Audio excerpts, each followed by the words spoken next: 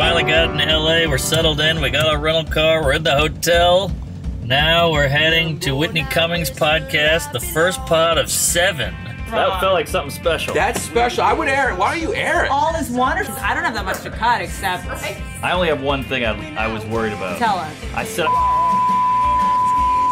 Oh yeah, upstairs. Did you see this up here? This is where um, this is where uh, Leah's hiding. this is where.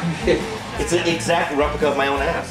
Wow, that's yeah, pretty good, huh? little jet. Flat like my face, as they say. Today's the 27th. Yeah. She Just knocked on my door. He was supposed to come on the 28th. I got the text to verify. I thought some stranger. I thought my girlfriend's real husband was here. What are the odds of seeing that car museum? Uh, This is a real dive, folks. I got bed bugs, scabies, and scurvy staying at this one. in the warm California sun.